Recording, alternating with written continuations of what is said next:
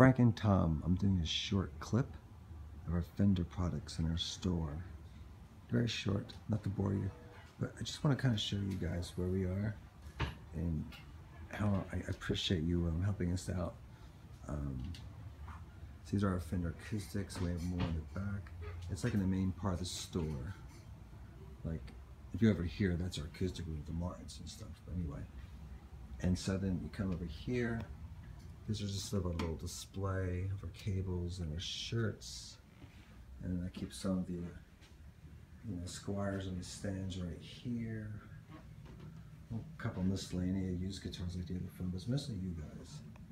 And Squiers, Squiers over there. But if you go over this wall, bang.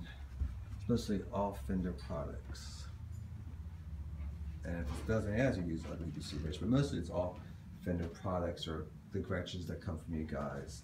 Charvels, Fenders. We got our amps over here.